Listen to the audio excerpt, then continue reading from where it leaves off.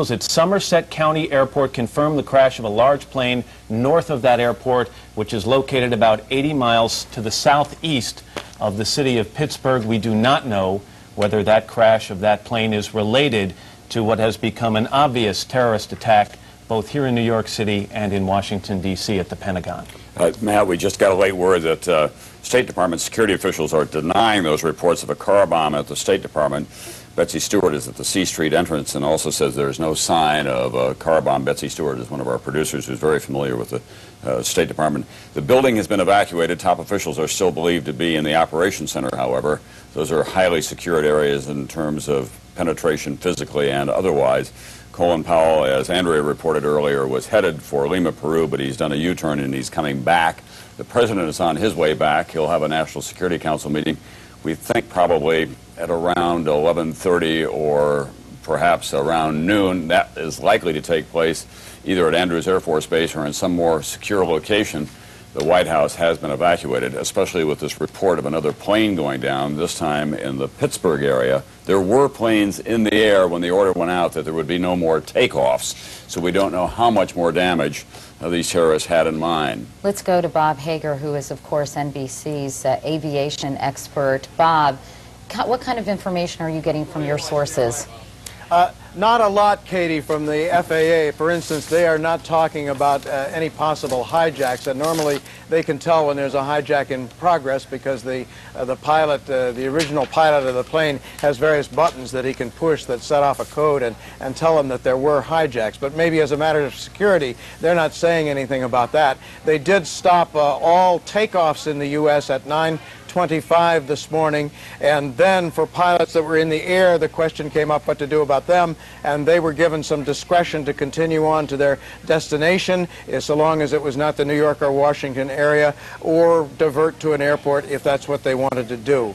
Uh, I personally, I saw the blast at the Pentagon, not the blast take place, but moments after it, I'd been at National Airport trying to get up to New York, and you could see that smoke billowing out of the Pentagon. I can give you a little description of what it's like on the streets of Washington because it was quite crowded trying to work my way back here to NBC. Uh, they have now given uh, not only the White House and those key buildings like the U.S. Capitol, but uh, at this point, they've given all federal employees the word to leave their offices and get home. Right. So there are traffic jams in Washington. Washington. Okay, we, we, Bob, I'm sure you're going to get more information for us momentarily, but first we want to go to Jim Miklaszewski at the Pentagon, who has some more information. Mick?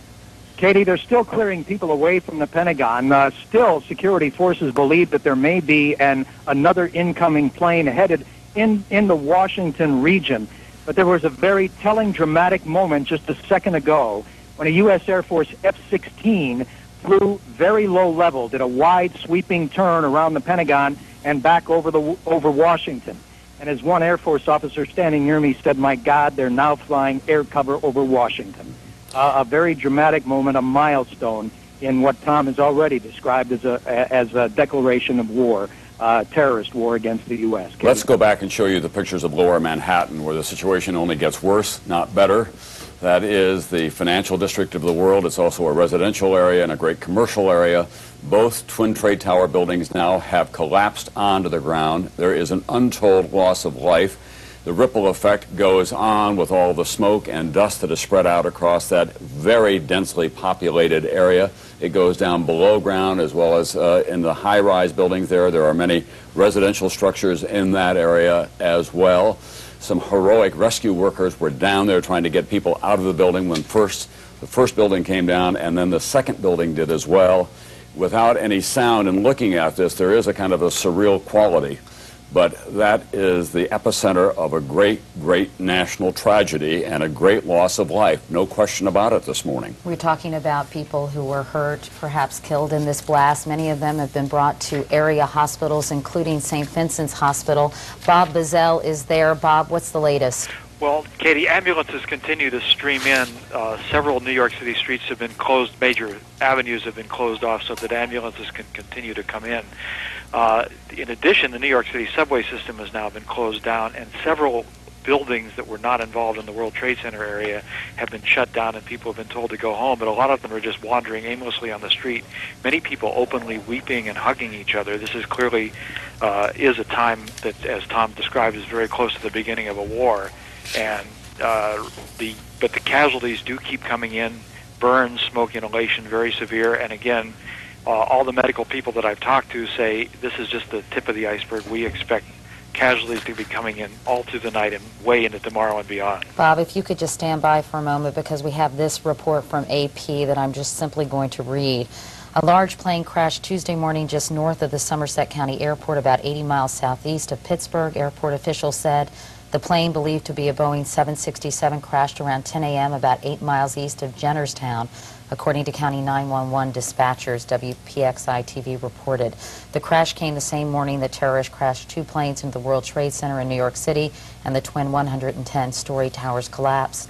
Explosions also rocked the Pentagon and the State Department, although that was refuted moments ago, and spread fear across the nation. There was no other immediate details on the Pennsylvania crash, and it was not clear whether the crash was related to the others. Again, that was a report, a bulletin that was just issued by the Associated Press. You know what is so stunning about all this, Matt and Katie, is that there has been no, no indication whatsoever that this very carefully coordinated massive attack was going to occur. There's been a complete intelligence failure here.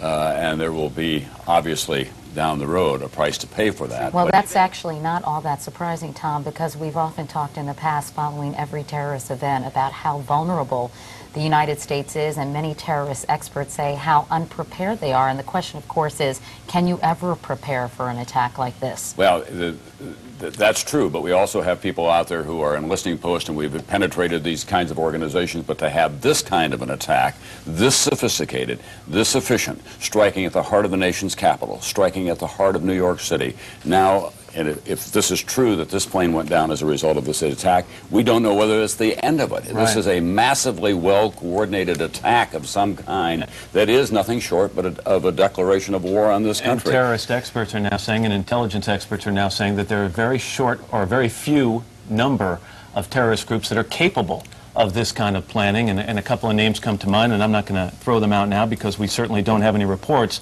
Before I go to Jamie Gangel, I just want to say that some of the descriptions coming from eyewitnesses in lower Manhattan of, of these explosions occurring are chilling. One man talked about getting off a PATH train, that's a subway train here in lower Manhattan, and looking up at the building after the first explosion and seeing people jump out of the windows. We have no idea how high up, but hearing people on the ground scream each time another person jumped out of a window, attempting to get to safety. And then when the second explosion occurred, he felt the heat of the explosion on the back of his neck. Jamie Gangel is our national correspondent. She's joining us now on the phone. Jamie? Matt, you know, speaking of those intelligence officials that you were just mentioning, now finally we can no longer reach on the phone anyone at the CIA. Apparently, the CIA has been evacuated. We know the National Security Agency, which is the electronic eavesdropping agency, which is south of Baltimore near Fort Meade, Maryland, that they have been shut down. What we're hearing from both places is that all non-essential personnel have been told to leave. Uh, and I can only imagine that probably they are trying to move some of their operations out of those buildings uh, as well for backup procedure. But in addition to whatever intelligence was or was missed in all of this, we now have uh, perhaps some problems gathering intelligence as those buildings are now being shut down. Right, Jamie, thank you very much. Tom, let's go back and talk about something you mentioned a second ago that is just, it shows the enormity of this situation in addition to what we assume will be horrendous loss of life. All planes in this country have been grounded. I mean, you think about the impact that has, and I mean, is there ever a time we can imagine something like that ever happening before? The most powerful nation in the world, and national security officials and terrorist experts have been saying for some time, a small band of very willful and sophisticated people can bring us to a halt, and they have done just that. There's a psychological terror as a result of all of this, as you can only imagine how it plays out across the country today. People looking in who don't live in New York or live in the nation's capital are wondering what happens around me. Uh, it is hard to overstate the consequences of all of this, and this is just the beginning. Uh, we'll be living with this story and dealing with the consequences of, of it for some time.